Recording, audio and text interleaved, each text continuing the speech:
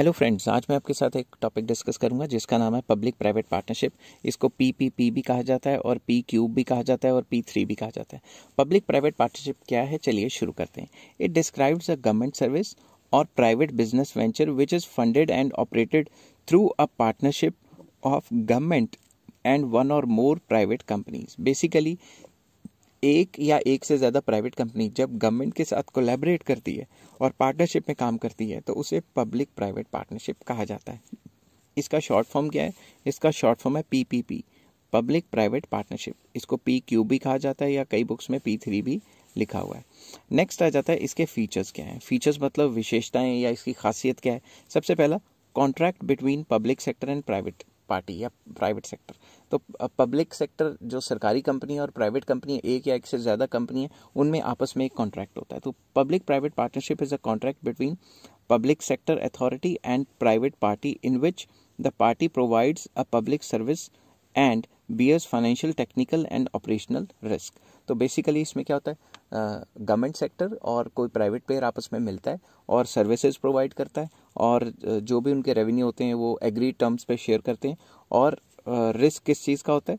कि प्राइवेट बंदा अपने पैसे डाल रहा है और अपनी नई टेक्नोलॉजी डाल रहा है और काम करने का रिस्क ऑपरेशनल रिस्क तो बेसिकली ये एक कॉन्ट्रैक्ट होता है। किसके बीच में? पब्लिक एंड प्राइवेट के बीच में। नेक्स्ट आ जाता है cost of using service basically in some public private partnership cost of using service is borne by users of services and not by the taxpayers and in some the cost of providing services is borne wholly by government or uh, private or partly by both. Basically इसमें cost of service मतलब जो भी costing आती है वो या तो जो यूज़ कर रहा है उसके ऊपर पास ऑन कर दी जाती है या पार्टली जो कॉस्टिंग है वो गवर्नमेंट सेक्टर मतलब अपने ऊपर डाल लेता है तो बेसिकली इसमें ज़्यादातर क्या होता है कॉस्ट ऑफ़ यूजिंग सर्विस ही लिया जाता है। जैसे गवर्नमेंट किसी पर्टिकुलर काम के लिए किसी और प्राइवेट कंपनी के साथ कोलैबोरेट कर लेती है। तो कोलैबोरेट करने के बाद जो प्राइजेज़ हैं वो काफ़ी हाई फाई चार्ज नहीं कर सकती। बेसिकली वो क्या करेगी, वो नॉमिनल से प्राइस चार्ज करेगी, जिसको use of cost of using service भी कहा जाता है।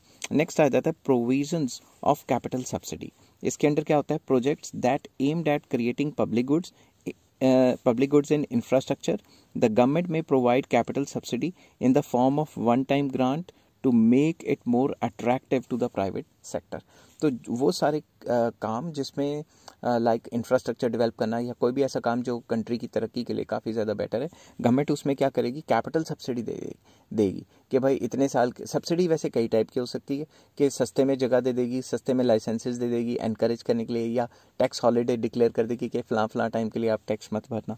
ठीक है, ताकि वो प्राइवेट प्लेयर को एनकरेज कर सके। In some cases government may provide revenue subsidy including tax breaks जिसको मैंने टैक्स हॉलीडे कहा था, और by providing guaranteed annual revenue तो सरकार या गवर्नमेंट गारंटेड एनुअल रेवेन्यू भी कह देती है कि भाई तुम्हें इतना रेवेन्यू जनरेट होगा ही होगा, अगर तुम्हें इतना रेवेन्यू जनरेट नहीं हुआ मेरे साथ काम करके तो जो भी फालतू जितना कम होगा, उतना ही मैं मतलब कंपनसेट कर दूँगी। तो गवर्नमेंट उनको या तो टैक्स का लालच दे के या गारंटेड रेवेन्यू का लालच दे के अपने साथ मिला लेती है।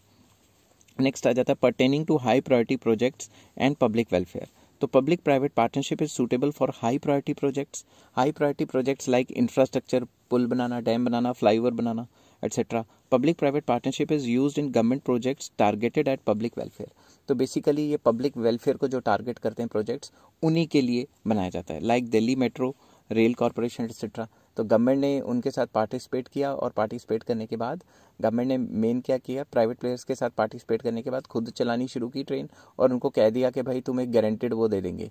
क्या कहते हैं? तुम्हें गारंटेड एक रेवेन्यू दे देंगे। अगर उससे कम रेवेन्यू हुआ तो क्या होगा? उस रेवेन्यू से अगर कम तुम कमाते तो बाकी कंपनसेट करने के लिए गवर्नमेंट तुम्हें दे देगी। ठीक है?